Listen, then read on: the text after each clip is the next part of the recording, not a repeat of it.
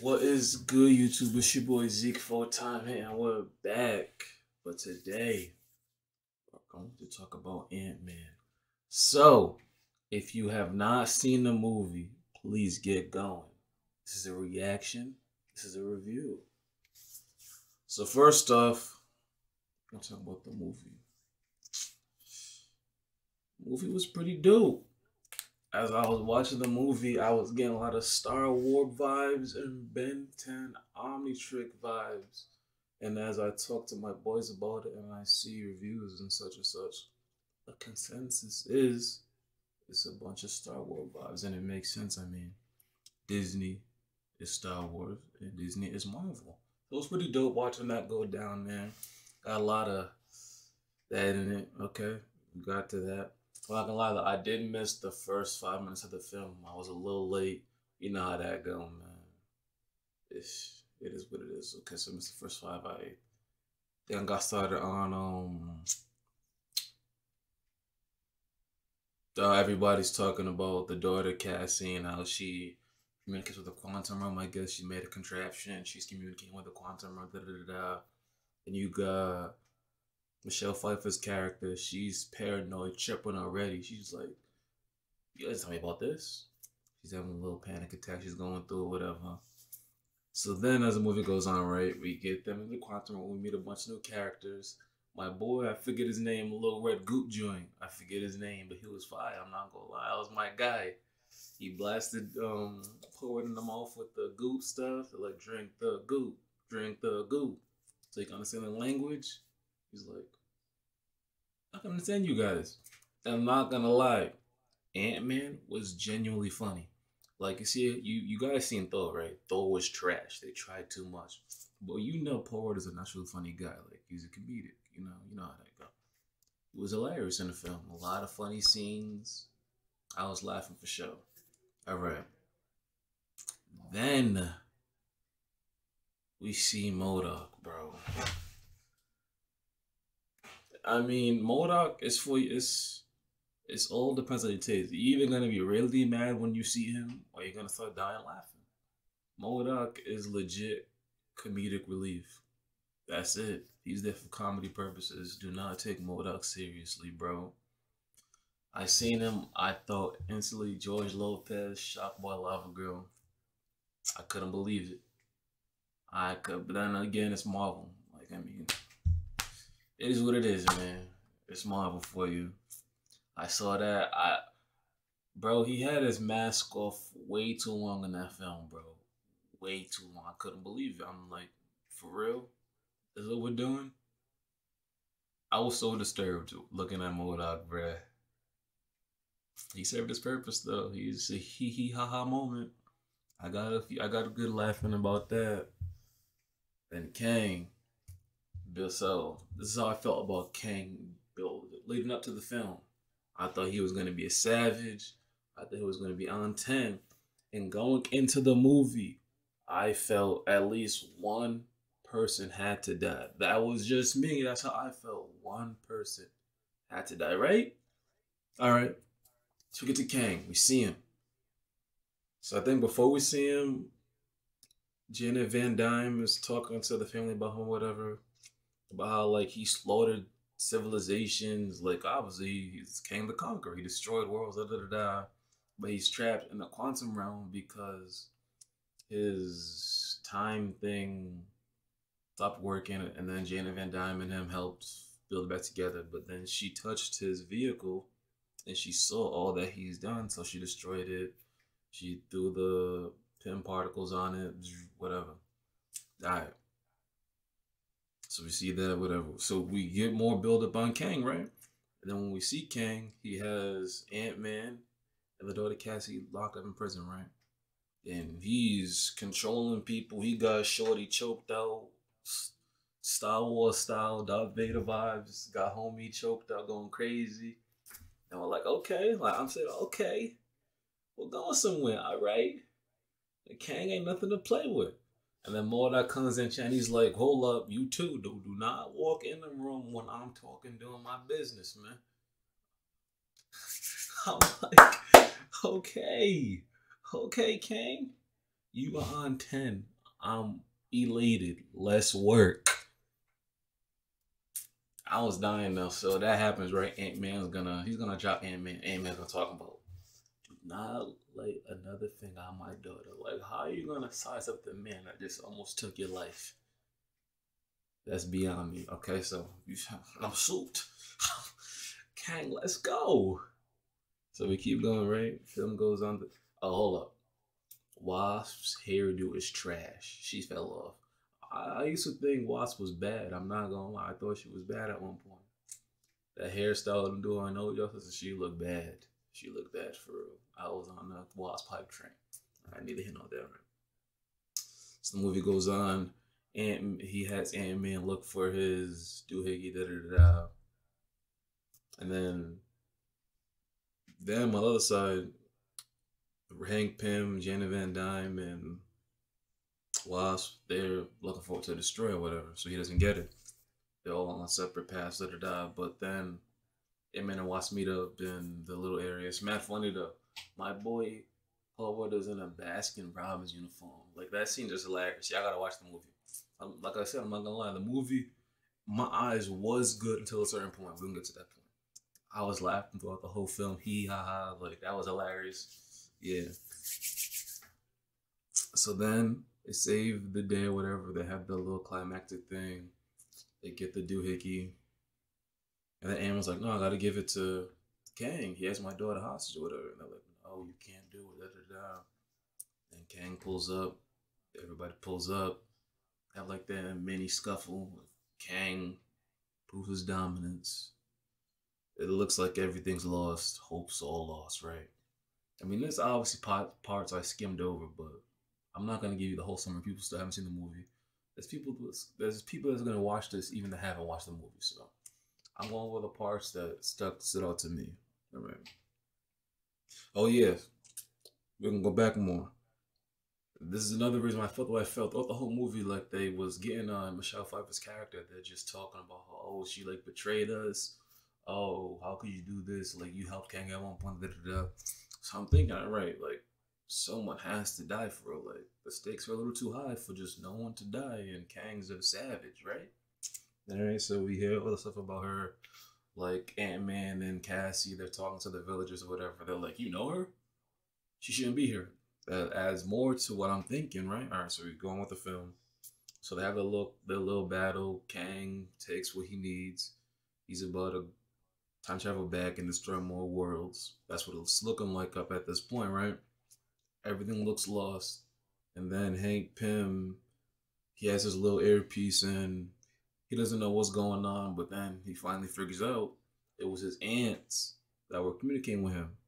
Because before the quantum thing happened, um, Hank, his ants, they was there with him, but he didn't know where they went at that point. So the ants come back, they built whole civilizations, da da da. Like these ants are savage. These are some ants, Hulk style ants, Bruce Banner, Bruce Banner brain ants, but Hulk, Hulk strength ants for real. Mob Deep, they pull up. They're, now they're building up their battle plan for what's gonna happen, right? All right. Kang, he's chilling. Like is good. He's souped. I'm gonna go back to doing my thing, man.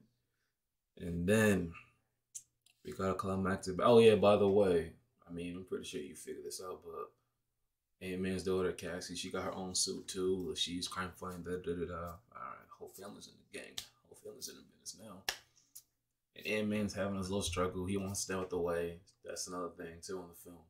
He wants to stay out the way while the daughter and everybody else wants to, you know, fight for justice and whatnot. Like as they go to the quantum realm, Ant Man's like, "Oh, like this isn't really my fight." And Cassie's like, "You serious? Like, come on, you let me down, Dad." So there's that there's that element in the film too. So then we get to the climactic battle. Everybody pulls up, storms the capital, whatever Kang's at. Everybody storming the villagers. There, there was some savage other characters too, like side characters. I don't know Shorty's name, but she had a little stash. She was scrapping for show. We had Buddy with the I don't know how to describe his head. It was like a weapon for real. Lasers. He was he was on ten too. He wanted to torture people from off the rip. He wanted to torture Paul Rudd and his daughter off the rip. Like let's torture him. So he was on ten too. Everybody like, all right, we ain't gonna win this. We're deep. We have everybody with us. All right, storming the Capitol, whatever. Kang is like, what's going on right now? So they're doing damage. It looks like for a little bit, right? Then MODOK pulls up. Kang pulls up. MODOK's fighting Cassie. As I'm watching it, like MODOK has the upper hand at first, and I'm like, bro, like this dude's fodder, clearly. So then you know what happens after that. Yeah, that happens, right? Kang pulls up. He's smoking people off rip. One tap, pew, pew, pew, pew, pew, pew, pew, pew. He was, he was. I'm, I'm sitting there like these. Yes, sir. Let's go. So Kang's doing his thing, right? Did I even skip over a scene? No, I think that's still yeah, it's still on horizon. So he's one tapping dudes.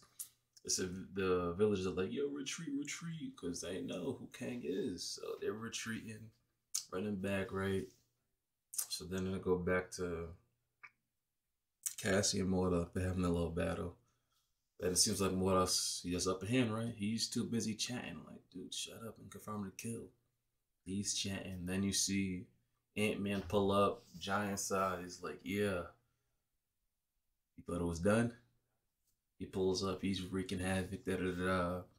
Then Cassie gets the upper hand on MODOK. MODOK's a cornball. And they had like this little scene. It was it was fun, I'm not gonna lie. She's like, bro, just stop. Like stop being a dick. And he's sitting there like it's too late. I was laughing. Uh, like it was funny, but I'm just like, bro, like, come on, let's get to the real stuff. Sorry, Ant Man pulls up, Wasp pulls up.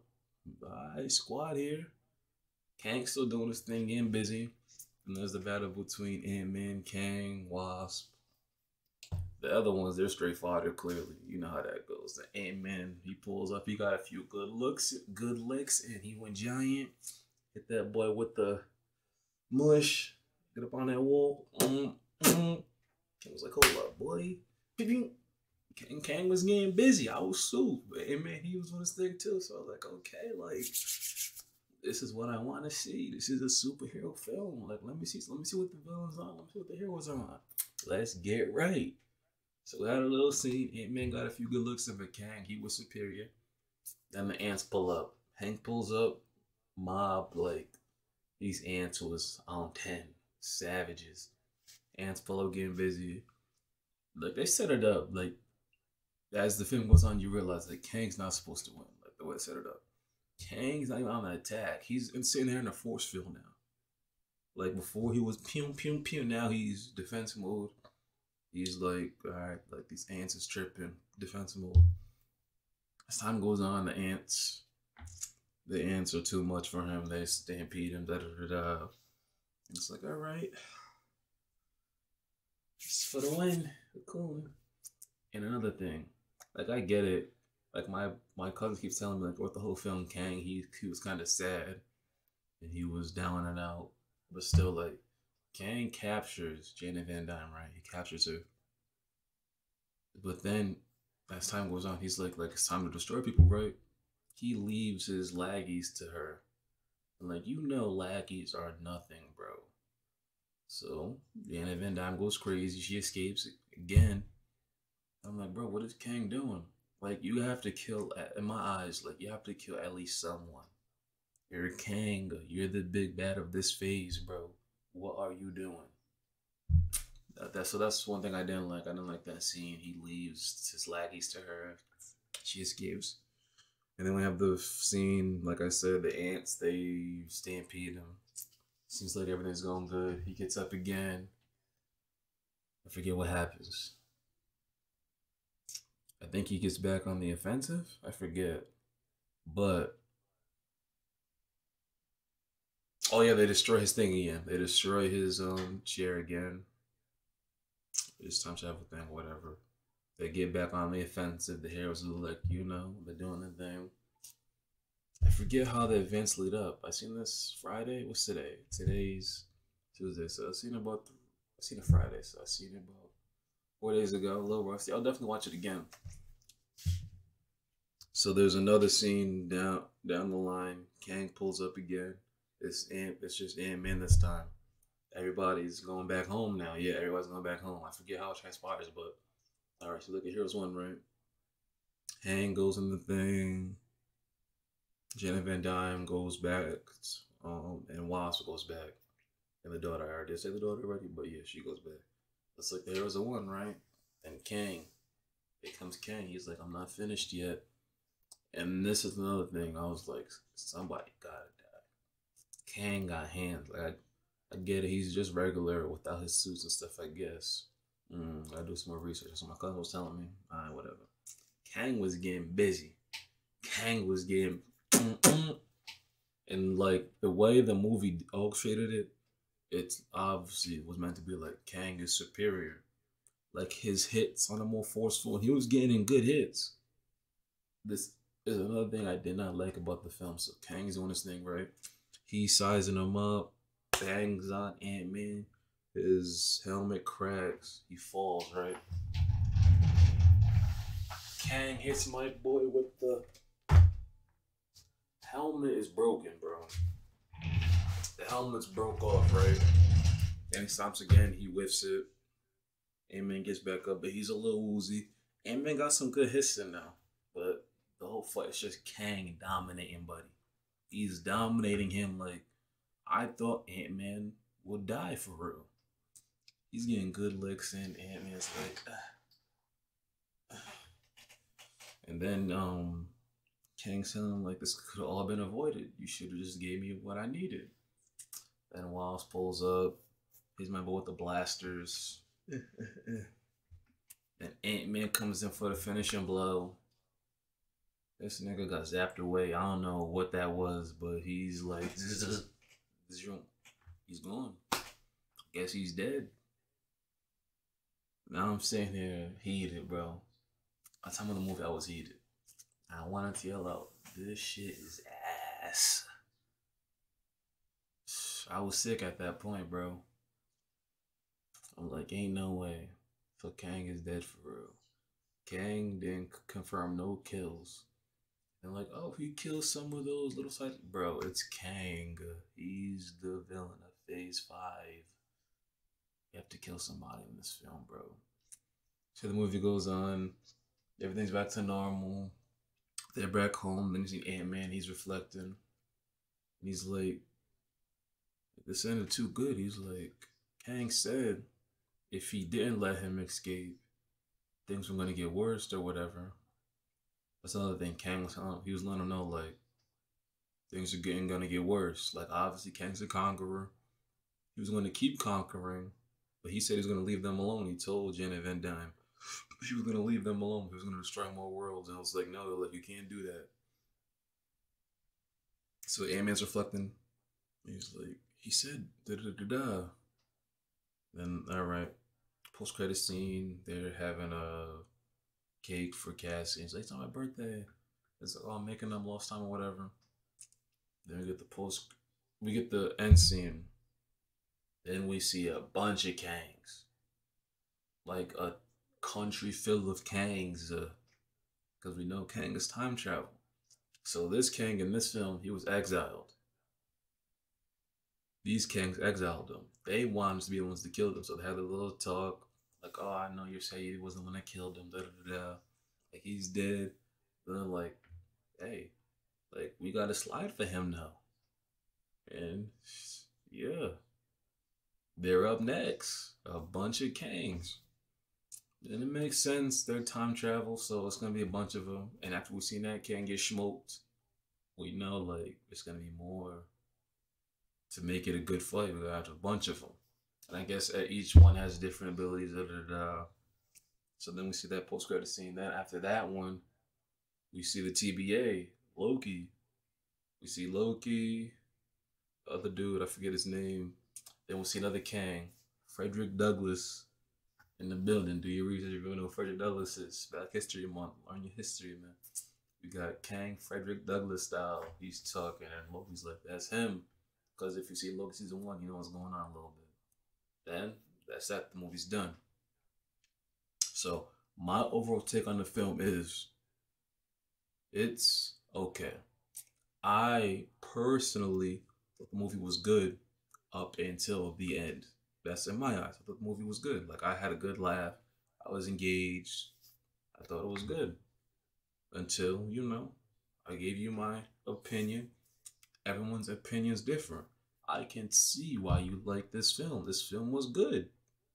Until I saw what I saw. I can see if you did like this film. I get that too. So, like, Wakanda Forever is way better than this film. Way better. Wakanda Forever is fire. I'm gonna give Wakanda Forever a nine out of ten. That movie was a great film. I'm not gonna lie, that was a great movie. Fight scenes were fire. I didn't get bored. Like that's a good movie. I might watch it again right now. Ant Man Wasp Quantumania, I might give it a six and a half. Not gonna lie, six and a half.